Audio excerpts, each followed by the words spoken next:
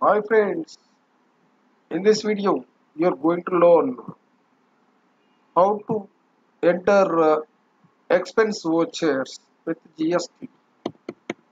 Suppose you have a you are paying rent for that you have to take uh, CGST and SGST into your books. So go here accounting vouchers select the journal. Office rent here I am entering the date as 110 50,000 Acha, in this ledger that is office rent uh, expense how to create this ledger? It's a main important. So I am entering here control plus enter to edit the ledger information. Here enter the name of the expense. Say office rent under group indirect expenses okay. Here GST is applicable yes. Say yes then set alter details yes. Click here the more details. Applicable from 17 rent. Here you can enter the HSN number. That will available in uh, that voucher or you ask your uh, client. Here the transaction if the expenses provider is within your state the transaction nature of transaction as purchase taxable. If the service customer is not in your state and is uh, interstate you have to select as interstate purchase taxable okay please note down taxable. Here enter the tax rate. 18% because the service before GST the service tax was 15% now after GST it come it is raised up to 18% so here enter as 18% CGST SGST automatically calculated as 9% and 9% that's it. Type of supply is service. That's it 50000 now debit.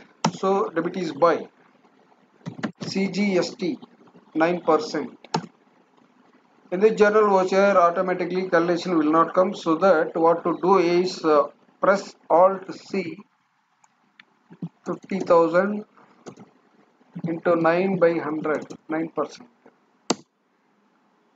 okay again debit here too so that type by say SGST SGST 9% 4500 this 4000 is uh, 50 percent 9% of 50000 here the enter the client name. Here I created uh, service client. So actual name you have to create. How to create I will tell you. Enter the name of the client. Who you to whom you are giving the rent. Here under group is creditors Billwise, yes.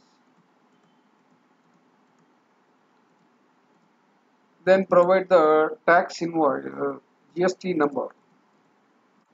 That's it.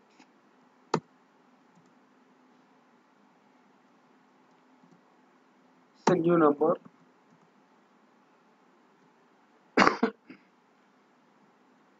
paying amount payable for office rent for the month of September 2017 in this way you have to enter your expenses. What are uh, you first you select the GST expenses you have to enter in journal vouchers like in this way.